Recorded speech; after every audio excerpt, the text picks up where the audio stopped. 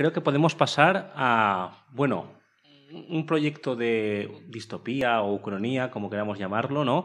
Hablamos de Years and Years. Sí, eh, Juan Fran, Years and Years es una, una serie eh, dirigida y creada por Russell Davis en 2019, es decir, es muy reciente, producida por HBO.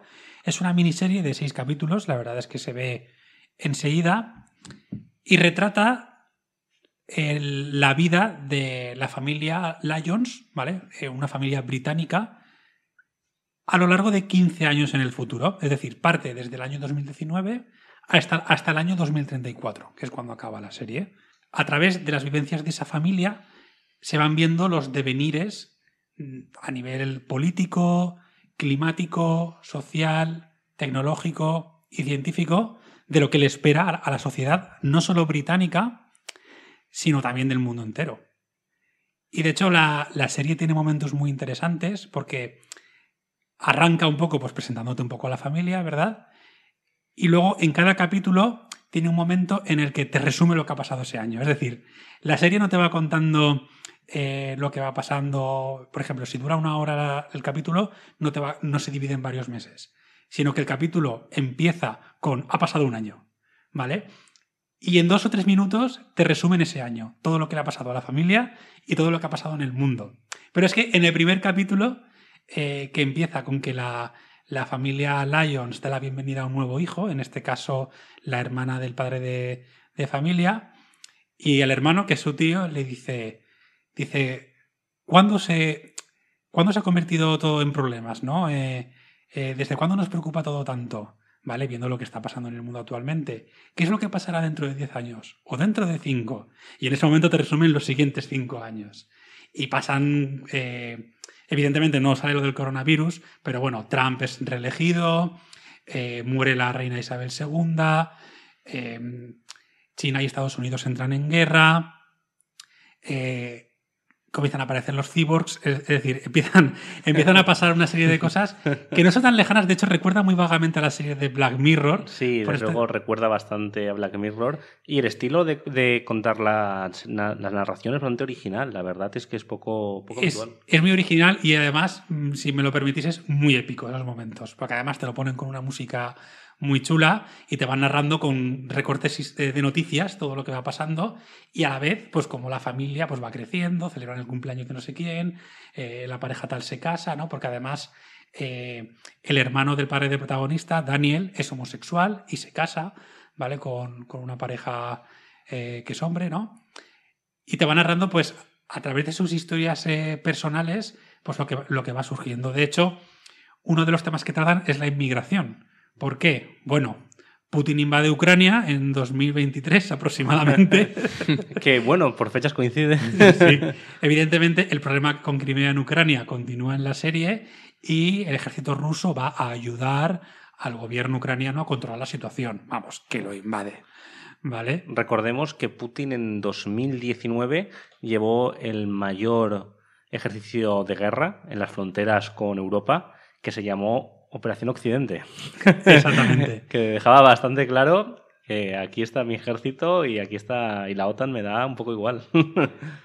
Exactamente. La cuestión es que la invasión de Ucrania provoca una gran ola de refugiados, porque, claro, al instaurarse un gobierno de extrema derecha en Ucrania, las minorías están perseguidas, todos los que votaron en contra de la gente que está mandando está perseguida y evidentemente los homosexuales, eh, izquierdistas y demás también. Entonces Reino Unido sufre una ola de refugiados, ¿vale?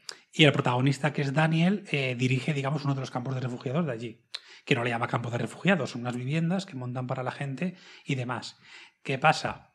En ese momento justo antes de que pasen esos cinco años, una empresaria, dirigente de un think tank derechista, eh, cuando le preguntan en televisión, la serie abre así, cuando le preguntan en televisión, ¿qué opina usted sobre Israel y Palestina? Y dice, bueno, pues Israel y Palestina me comen el coño. ¿Vale? En inglés, eh, I don't give a fuck, ¿no? Eh, no me importa una mierda. Y claro, alcanza una enorme popularidad con ese discurso rupturista de a mí lo que me importa no es Israel y Palestina, a mí lo que me importa es que el basurero me recoja la basura, eh, tener seguridad en mis calles y vivir bien, ¿vale? Pues bueno, a lo largo de la serie, esta señora, bueno, primero se presenta como independiente a las elecciones generales, las pierde, más adelante con la crisis de refugiados las ganará, se convertirá en diputada, ¿vale? Con un partido que se llama el Partido de las Cuatro Estrellas, o de los, otros cuatro asteriscos, porque procede de, de, que cuando tú dices una palabrota se tapa con asteriscos.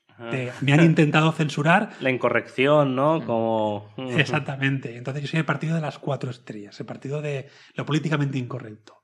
¿no? que la política bueno, que, está, que está interpretada por Emma Thompson, una actriz maravillosa, ¿vale? La política en este caso se llama eh, Vivian Rooks. Y bueno, finalmente bueno, consigue al principio 15, 15 escaños. Eh, yo no haré coalición con nadie, ni con los laboristas, ni con los Tories, ¿no? que son los conservadores y los socialdemócratas de Reino Unido, sino que condicionaré sus medidas. Y luego termina diciendo, con 15 diputados no puedo hacer nada. Bueno, evidentemente acabará ganando las elecciones. Eh, y bueno, se verán las consecuencias a lo largo de la serie de, de sus políticas. Siguiendo con el tema de la inmigración, eh, el protagonista Daniel se enamora de un refugiado ucraniano, eh, Víctor Gorja, y bueno, a lo largo de la serie las peripecias para conseguir algo tan sencillo como que pueda vivir junto a él, eh, bueno, le, le llevará a, a, un final muy catastrófico, porque vaya al país que vaya, el discurso xenófobo ha triunfado. Es decir, la serie, la serie te intenta transmitir la idea de que el mundo se va a volver muy conservador. Porque de hecho, en el año 2028 hay una revolución en España que gana el partido Nueva Esperanza de extrema izquierda, después de que los socialistas llevaran ocho años eh, eh, en el poder, y era el país más progresista de Europa. Así es como te lo pintan España en la serie. Y de hecho va allí Víctor Gorgia con Daniel para intentar conseguir un permiso de asilo a Reino Unido. Cuando la extrema izquierda sube al poder en España, eh, bueno, ya no ve tan buenos ojos que haya tantos inmigrantes en España. Y dicen, pero ¿cómo puede ser si es de extrema izquierda? Y Víctor Goya dice, es que da igual, es que lo que está cambiando es el mundo. ¿Vale? De cómo la extrema derecha está consiguiendo a nivel cultural implantar sus ideas este el partido que esté en el poder. Claro, esto también un poco nos recuerda quizás el tema de Francia, ¿no? Que aunque Marine Le Pen ha tenido más resultado, su discurso es prácticamente el discurso de la derecha conservadora e incluso el centro derecha lo ha absorbido en posturas de inmigración. Entonces, bueno, su guerra cultural pues parece que está funcionando. Exactamente, la serie te quiere aventurar eso, de la, nueva derecha radical es esto. Luego se acaba sabiendo en la serie que Vivian Rooks, como primera ministra del Reino Unido, implanta leyes de seguridad súper absurdas, creando guetos en los barrios y demás. Y luego se ve que no había inmigrantes en las calles porque los estaba metiendo en campos de concentración. Básicamente. ¿Vale? Y es una, vamos, una consecuencia bastante grave ¿no? de lo que puede pasar. Convierte el Reino Unido en una especie de semidictadura, ¿no? de Estado militar.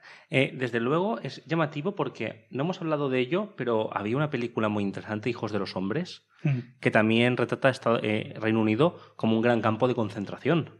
Entonces, no sé, quizás sea un sentimiento que hay allí, ¿no? De lo que puede, de lo que puede pasar ante la hegemonía del Partido Conservador frente a un laborista que no remonta las encuestas y si se puede radicalizar mucho más. Y... Exactamente, pero solamente hay que ver lo que ha pasado después del Brexit. Mm. Todas las leyes anti-inmigrantes que están aprobando, lo que cuesta ahora vivir allí y cómo la gente está abandonando el Reino Unido porque las leyes de extranjería están volviendo a ser las de 2014 y las de antaño y está suponiendo, vamos, un peligro para los derechos de las personas migrantes que incluso con permisos de residencia están siendo tratados como ciudadanos de segunda. Entonces la serie te está retratando una realidad que sigue esa estela, pero todavía más grave. También te habla un poquito del, cambio climático, ¿vale? Te habla de que los polos se han derretido, de las consecuencias que, tiene eso para, para la economía. Y ya por último, y con esto cierro, te habla de una crisis bancaria mundial que hunde prácticamente el mundo entero, mucho peor que la de 2008, y que tiene que ver con la crisis de deuda. En fin, es una serie que, yo recomiendo que, aunque no haya acertado o quizá no, no acierte, sí que te aventura lo que podría pasar eh, si la tendencia actual continuara, si la extrema derecha continuara creciendo. Y finalizo con una frase con la que acaba la serie eh, La abuela de la familia, que es, tenemos el futuro que hemos creado nosotros. Efectivamente, ¿eh? una frase muy reveladora y desde luego una serie muy recomendable, muy cortita, seis episodios si no me equivoco. Sí, así es, se ve en una tarde la puedes ver perfectamente.